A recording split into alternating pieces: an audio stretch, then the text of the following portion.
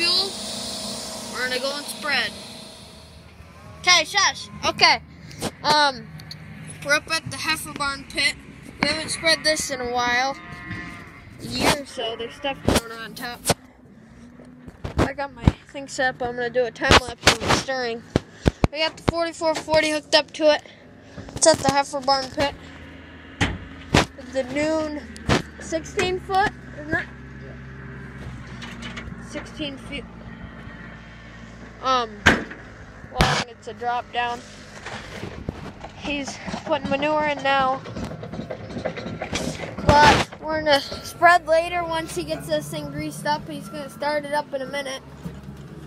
Um, the other 4440 four post isn't on this because um the um hydraulics haven't been working too good. Fueling this tractor up. We're gonna spread with this 82. Light's gonna come with the 9400 um and spread with us. We're gonna spread this field, this cornfield. 42 acres, Jake said. That's the pasture up there where the trees are. There's a pond up right over the crest of the hill. Can't really see it. This is the heifer barn. All the barns are blue. But yeah, we're gonna get started on this. It's pretty crusty on top. But yeah, that's what we're gonna be doing. So the time lapse are gonna be the manure stirring.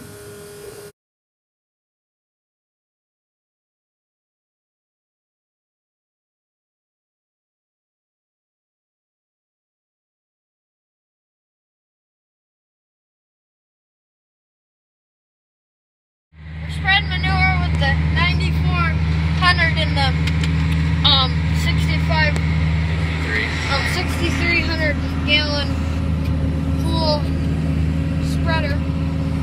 This is our 11th load today. We've got that much started at like 10:30, 10 10:30. We've got that much done in 10 loads. This is our 11th load.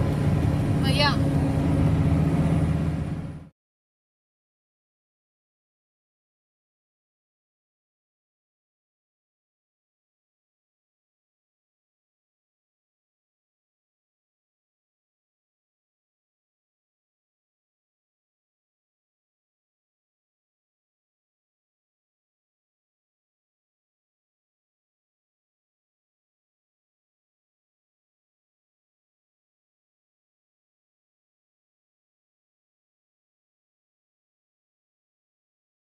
Grandpa's coming up with the my grandpa's coming up with the 8430 with a new little disc.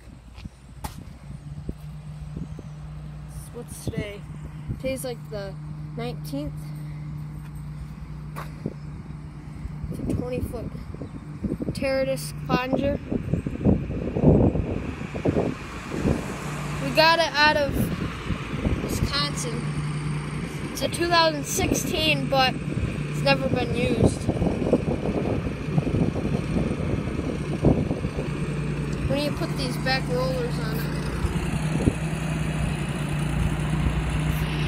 Starting to sprinkle today, but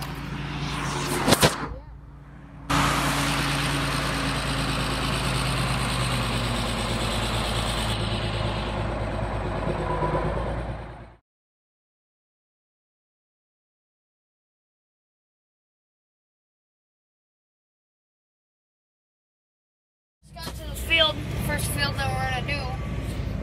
Soybeans.